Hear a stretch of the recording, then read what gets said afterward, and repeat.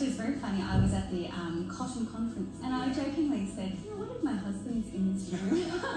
and then somehow I was here on the farm. So I was like, did I just put that out to the universe? well, I thought he was a spunk and a half. He was spot on for me.